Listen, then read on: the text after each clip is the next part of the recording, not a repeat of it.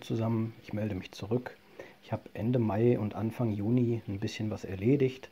Ich habe nicht immer die Kamera dabei gehabt, aber ein paar Videoaufnahmen sind zusammengekommen und die möchte ich euch jetzt in diesem Video präsentieren. Es ist dann dementsprechend nicht ganz aktuell, sondern liegt ein paar Tage zurück und ich bemühe mich, dass ich im Juni direkt noch ein zweites Video raushau mit aktuellen Aufnahmen und dann kann man direkt mal den Vergleich sehen, wie sich alles so entwickelt hat. Vorab, ich bin gut zufrieden mit dem Garten.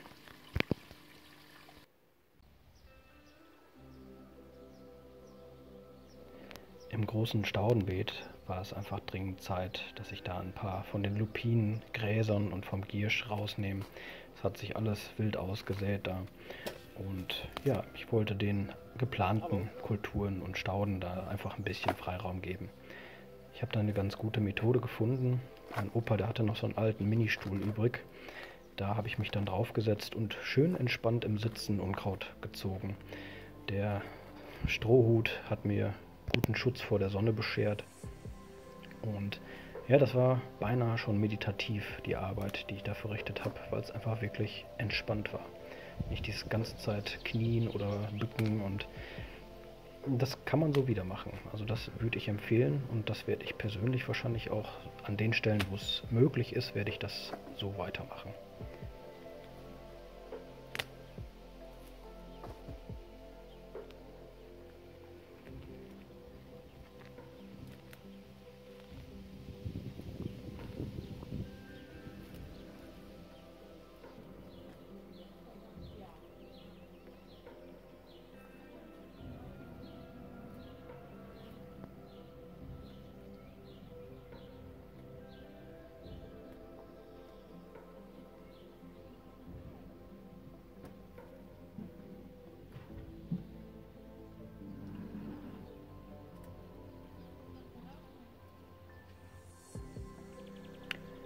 Das Ergebnis ist für mich zufriedenstellend. Das ist jetzt nicht perfekt aufgeräumt. Hier und da guckt immer noch was raus. Aber eine gewisse Wildheit ist in meinen Beeten auch erwünscht. Also auch ein Giersch lasse ich gerne mal blühen, auch wenn viele sagen, das wird man nie wieder los. Ich werde es wahrscheinlich auch nie los, aber ich möchte es auch nicht ganz los sein. Ähm, ich möchte es nur tatsächlich ein bisschen kontrollieren, weil es sonst einfach alles andere niedermachen würde oder unterdrücken würde. So ist es gut.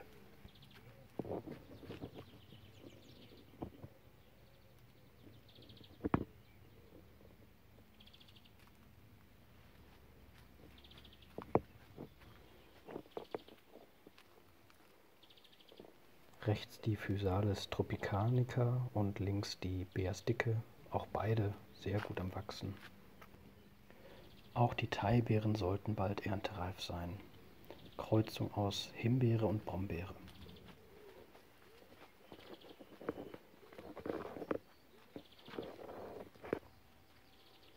Die Erbsen blühen bereits.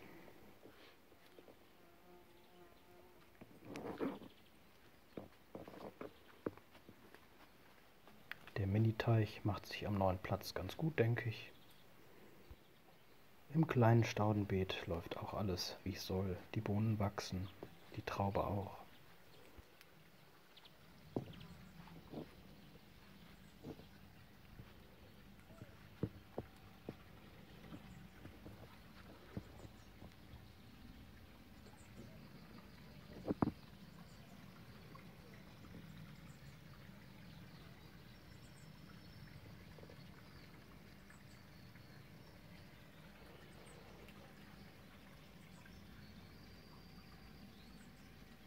Zu den Topfkulturen gibt es aktuell nicht so viel zu sagen.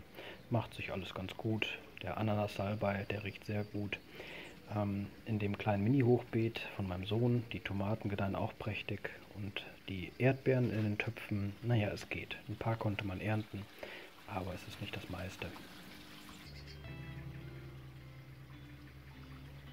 Was man hier sieht, bedarf nicht vieler Worte. Ist einfach schön zuzusehen. Und das ist ja eigentlich direkt darunter, ist ja eigentlich der Grillplatz. Den haben wir extra die paar Male, wo wir ihn benutzt haben, woanders aufgebaut, damit die sich da nicht gestört fühlen.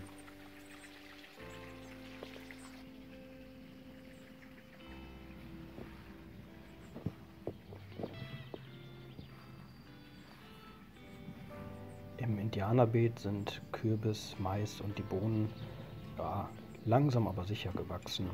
Und auch die Sonnenblumen, die paar Tomaten und äh, Tomatillos und Physalis kommen nach und nach so ein bisschen.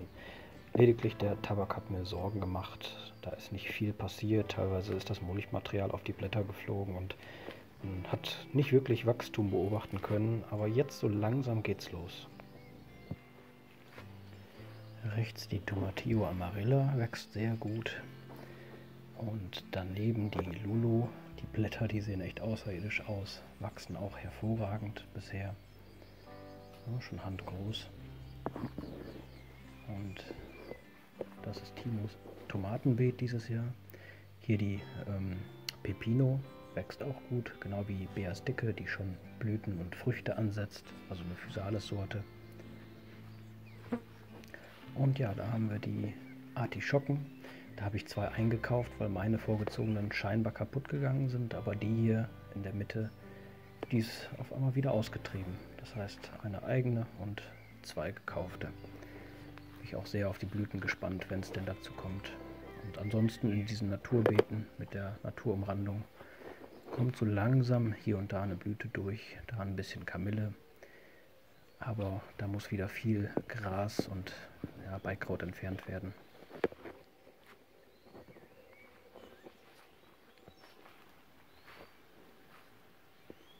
Am Erdbeerturm gibt es sicher noch Handlungsbedarf. Der trocknet immer sofort aus, auch mit den Ojas. Das ist nicht optimal. Das sieht man an der mickrigen Erdbeerernte. Und die Sonnenblumen, die wachsen prächtig. Diese Hibiscus, Rosella wachsen nicht so toll. Aber der Rhabarber, der wächst richtig gut. Die Kartoffeln wachsen. Ich könnte eigentlich bei fast jeder Pflanze sagen, dass es wächst oder dass sie wächst. Äh, die Tomaten, der Kohlrabi und alles. Da die Tomaten von meinem Sohn. Da oben noch mehr Tomaten von meinem Sohn. Und der Kirschbaum, die Süßkirsche, hat wieder Läuse, hängt wenig dran. Ist aber nicht schlimm. Ja, die Wassermelone. Wild aufgegangene Tomaten kommen jetzt überall durch. Und ja, was die Physalis Schönbrunner Gold und davor die ähm, Ananaskirschen angeht, da bin ich zufrieden. Die kommen jetzt richtig durch langsam. Die neuen Blätter sind saftig grün. Da der Brokkoli, Salat ernte ich immer unheimlich viel. Hm, machen wir gerne Sandwiches mit viel, viel Salat. Ein bisschen Aioli. Tomaten muss ich leider noch kaufen dafür. Die Erbsen wachsen gut, die Bohnen ranken. Und ja, das Paprikabeet ist ein Trauerspiel. Das sieht alles ein bisschen zerstört aus. Aber ich hoffe, dass da noch ein bisschen was passiert. Dass man da vielleicht ein bisschen ernten kann dieses Jahr. Ja, überall stolpert man über Anzuchten. Auch im Gewächshaus habe ich noch ein paar. Und ansonsten den Tomaten vorm Gewächshaus wie auch im Gewächshaus geht es prächtig. Wachsen, wachsen, wachsen.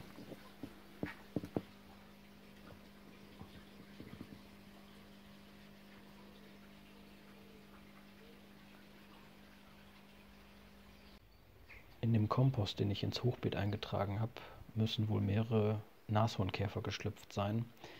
Und die kamen dann natürlich nicht raus, beziehungsweise haben es versucht und sich dann vollkommen im Gemüseschutznetz verfangen. Die habe ich dann alle da rausschneiden müssen und die Fäden lösen müssen. Das war eine ganz schöne Friemelei. Ähm, und da ich nicht wusste, wie viele noch nachkommen, ich glaube fünf oder sechs habe ich gerettet, habe ich dann mich entschlossen, das Netz abzubauen. Weil, also Käfer, da schlägt mein Herz ja sowieso für. Und da will ich nicht, dass irgendein Tierchen sich in meinen Netzen verfängt. Ähm, da hatte ich ja schon mal Probleme mit, mit dem Igel vorletztes Jahr, der sich in so einem großen Bärennetz verfangen hat. Deswegen verzichte ich auf die bereits. Jetzt schade, dass sich auch darin leider Tiere verfangen können. Ähm, da weiß ich noch nicht, wie ich das nächstes Jahr angehe. Auf jeden Fall habe ich meine Schuldigkeit getan und die Tiere befreit.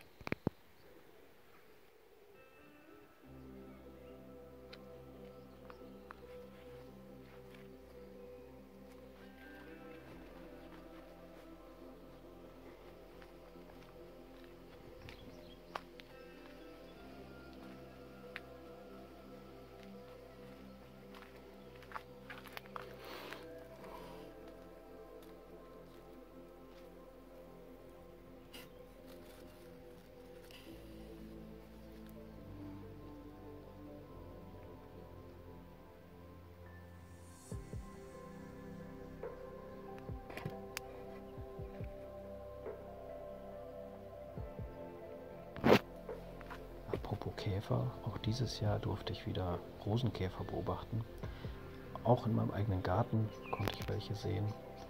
Und wie fast jedes Jahr in den gelben Rosen direkt am Eingangsbereich äh, unserer Kleingartenanlage. Da freue ich mich auch immer sehr drüber.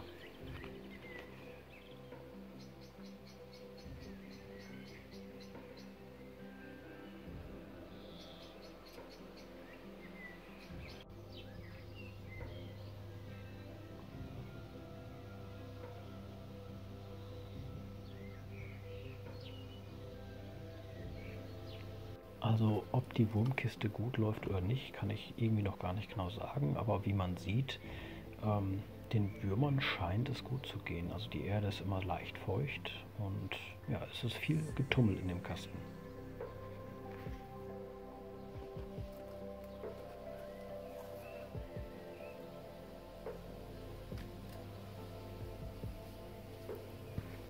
Danke fürs Zusehen und es wird im Juni noch ein zweites Video mit einem Update geben.